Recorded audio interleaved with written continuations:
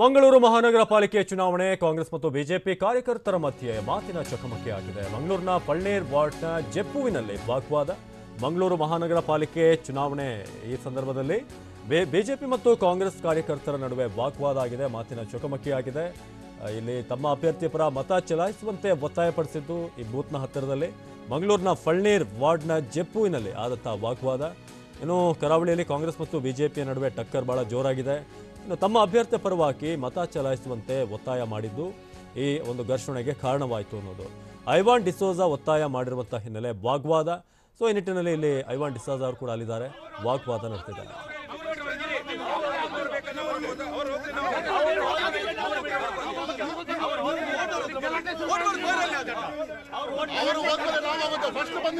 ಅವರು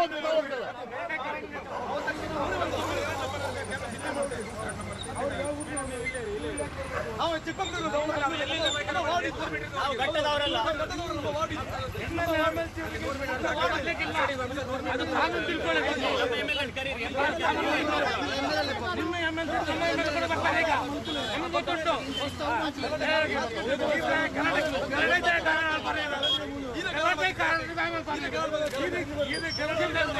ಫಸ್ಟ್ ಬಂದಿದ್ದು ಅವರು ಅವರು ಹೋಗ್ಲಿ ನಾವು ಹೋಗ್ತೇವೆ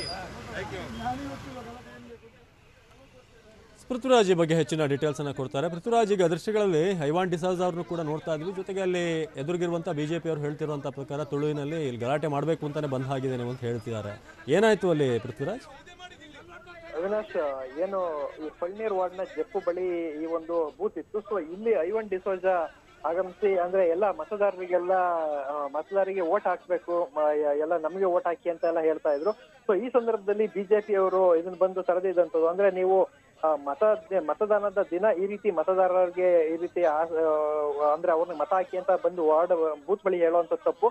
ಸೊ ಇಲ್ಲಿಂದ ಹೊರಗಡೆ ಹೋಗಿ ಅಂತ ಹೇಳಿ ಬಿಜೆಪಿ ಅವರು ಐವನ್ ಡಿಸೋಜ ಮತ್ತೆ ಅವ್ರ ಬೆಂಬಲಿಗರಿಗೆ ತರಾಟೆಗೆ ತೆಗೆದುಕೊಂಡಿರುವಂತದ್ದು. ಮತ್ತೆ ಎರಡೂ ತಂಡಗಳ ನಡುವೆ ವಾಗ್ದ, ವಾಗ್ವಾದ ಶುರುವಾಯಿತು. ಇಲ್ಲಿ ಬಿಜೆಪಿ ಅವರ ವಾದ ಏನಂತ ಹೇಳಿದ್ರೆ, ನೀವು ಈ ರೀತಿ ಅಂದ್ರೆ ಕಾಂಗ್ರೆಸ್ ಮುಖಂಡರು ಈ ರೀತಿ ಬಂದು ಮತದಾರರಿಗೆ ಮತ ಹಾಕಿ ಅಂತ ಹೇಳೋದಾದ್ರೆ, ನಮಗೆ, ನಮ್ಮಲ್ಲಿಯೂ ಸಂಸದರಿದ್ದಾರೆ ಎಂ ಎಲ್ ಎಗಳಿದ್ದಾರೆ, ನಾವು ಅವ್ರನ್ನ ಕರೆಸ್ತೀವಿ, ಅವ್ರನ್ನ ಮತ ಏನು, ಬೂತ್ ಬಳಿ ಕರೆಸ್ಬಿಟ್ಟು ನಾವು ರೀತಿ ಪ್ರಚಾರವನ್ನ ಮಾಡ್ತೀವಿ ಅಂತ ಹೇಳಿ ಅವರು ಎರಡು ಈ ತಂಡಗಳಿಗೆ ಅಲ್ಲಿ ವಾಗ್ವಾದಗಳು ನಡೀತು. ಸೊ ಇಲ್ಲಿ ಮಧ್ಯ ಪ್ರವೇಶದಂತ ಪೊಲೀಸರು ಎರಡು ತಂಡಗಳ ಈ ಒಂದು ಜಟಾಪಟಿಯನ್ನ ಬಿಡಿಸಿದ್ರು.